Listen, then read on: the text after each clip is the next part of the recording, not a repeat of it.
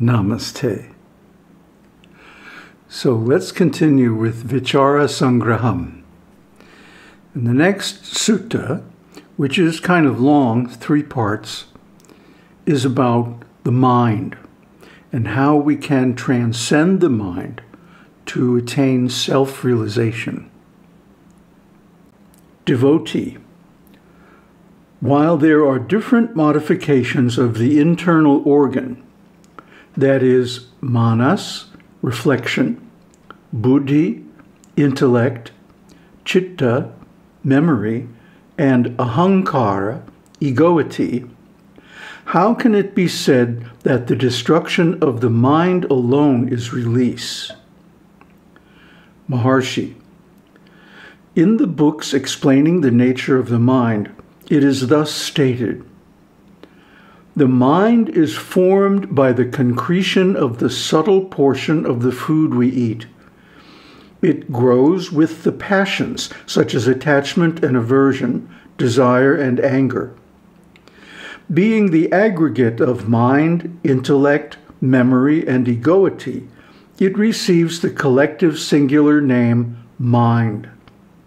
The characteristics that it bears are thinking, determining, etc.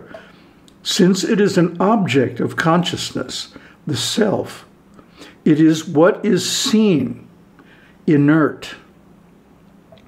Even though inert, it appears as if conscious because of association with consciousness, like a red hot iron ball. It is limited, non eternal, partite, and changing, like wax, gold, candle, etc. It is of the nature of all elements of phenomenal existence. Its locus is the heart lotus, even as the loci of the sense of sight, etc., are the eyes, etc. It is the adjunct of the individual soul thinking of an object.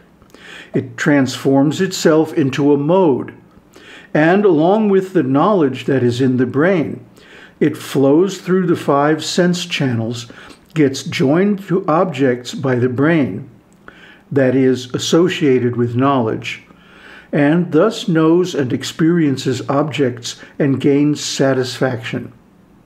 That substance is the mind. Even as one and the same person is called by different names according to the different functions he performs, so also one and the same mind is called by the different names mind, intellect, memory, and egoity on account of the difference in the modes and not because of any real difference. The mind itself is of the form of all, that is, soul, God, and world. When it becomes of the form of the self through realization, there is release, which is of the nature of Brahman.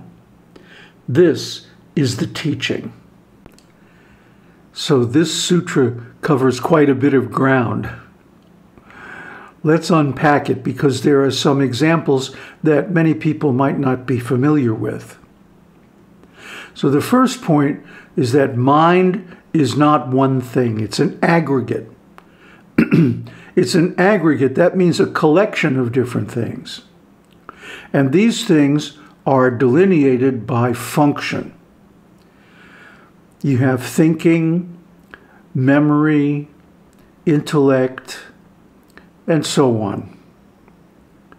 And these different functions, especially egoity or, or false ego, ahankar, are what blocks self realization. We are taught from a very early age that knowledge is really important. But from our viewpoint, from the viewpoint of self realization, Knowledge is the booby prize because knowledge is never the thing known. It's just a symbol, a metaphor, a pointer, if you will, to that thing. Knowledge is always knowledge about something. It is never the thing itself. Just like the map is different from the territory, knowledge is never exactly alike to the thing that it describes. There's always some discrepancy, if only the fact that knowledge is never a complete description. It's always limited to some degree. Now, in the second part, he gives some examples. He says, even though the mind is inert, it appears to be conscious because of association with consciousness, like a red hot iron ball. And this is a reference to an example given in the Upanishads that even though a red hot iron ball is not fire, it can act like fire and set things on fire, for example, or burn because of its association with fire in the past. So even though we may take the red hot iron ball out of the fire, it can still possess so many qualities of fire by its association. And the same is true of the mind, and by the way, the body as well. So it appears to have consciousness. It appears to have various functions, even though it's actually inert and dull. And this is because of its association with consciousness. It reflects consciousness like a mirror reflects an image. And that's also the meaning of this other example. It is changing like wax gold, candle, etc. What this means is that gold originally is in the ground as a mineral.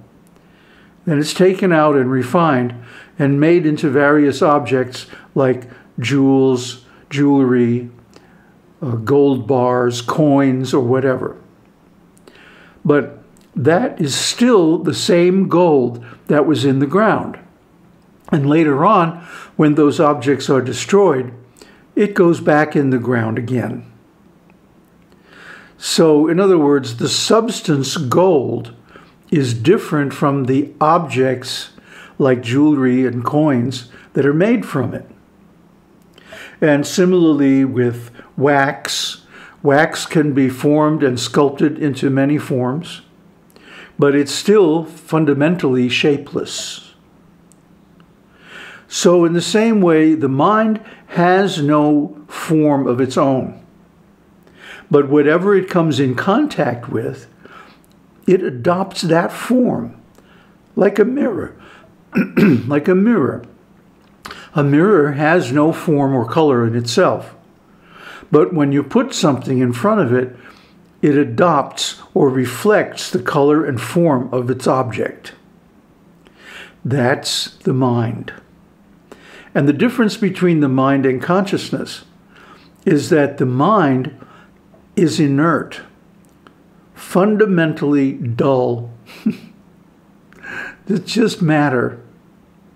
It may be very sophisticated, it may be very complicated, but still, in the end, just like a computer, they talk about artificial intelligence, but actually, the computer has no intelligence. It's only reflecting the intelligence of the programmer. So, in the same way, the mind reflects some of the qualities of the self, and thus it appears to have those qualities, but actually they're only reflections. And then he goes on and says, It's an adjunct of the individual soul thinking of an object. It transforms itself into that object. So the usefulness of the mind comes from the fact that it can transform itself into anything. And we can use it to model the reality and understand the different functions of the world and how things work. And in this way, we can come to understanding and realization of the nature of the world. But we should not get hung up on the mind. The mind is not an end in itself. Just like a tool may be used by a carpenter or other craftsman to make some useful object. But the tool is not useful in itself. It's only useful insofar as it can help to construct a useful object, such as a piece of furniture or something like that. In the same way, the mind is very good uh, tool for understanding the world. But that doesn't mean we should get hung up on the mind or knowledge as a thing in itself. Knowledge can be useful. It can help our quest for self realization. But there's a point at which we have to transcend knowledge and come to self realization itself. And he talks about that in the third part. He says the mind is called by different names according to its function. So those functions, whether it be thinking or memory or modeling or perception or egoity, the sense of identity, are only useful insofar as they support the function of self realization. And when the mind comes to resemble the form of the self, to model, as it were, or reflect the self without distortion, then its purpose is achieved in full and one attains enlightenment. So we can understand the mind is a very useful tool it can help us along the path if it's given right knowledge. Then it can assume the form of the path, model the path, and we get to understand how everything works. And this is very important. I was just chatting with a friend of mine about how I had a first spontaneous awakening in 1967, actually in the midst of an LSD trip. That was the summer of love. and there was good Sandoz and Owsley LSD floating around San Francisco. It was very easy to obtain. These days, very difficult. So in those days, it was very easy, and I was taking LSD with other people or sometimes alone. And I must have taken, I don't know, a couple dozen of trips. And on one in particular, all alone in the middle of the night, like now, two o'clock in the morning, I had an, inner experience of Brahman. I didn't know what, would, what was going on. Yes, I had read in books on yoga about the impersonal absolute and Brahman and the light and all these things. But it was not sufficient information for me to model the actual function of it. So when it happened to me spontaneously, I was like surprised. Well, what is this? You know, it was wonderful. But as soon as I came down from the LSD, it was gone without a trace. And for years, I was in denial about it because I couldn't understand what it was.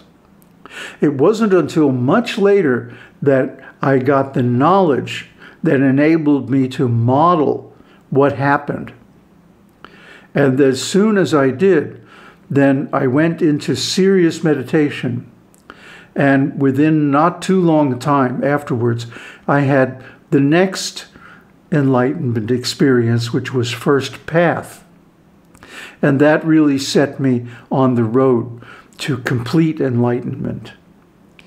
So one should cultivate the mind by giving it good knowledge, knowledge from the scriptures, knowledge from the realized beings, and then contemplate that knowledge, think it over. how can it be correct? Even when we are told really hard to accept things like there is only one jiva, only one individual soul, or that everything in life is determined completely by karma and there is no such thing as free will or choice. These are very difficult to swallow because we've been conditioned with a different understanding by modern psychology and the philosophy of individualism and so on. But if we think them over sufficiently, we can see that actually these are the truth. And that would open us up for the experience of the truth, which is directly complete enlightenment. Om Tat Sat. Om Shakti Om.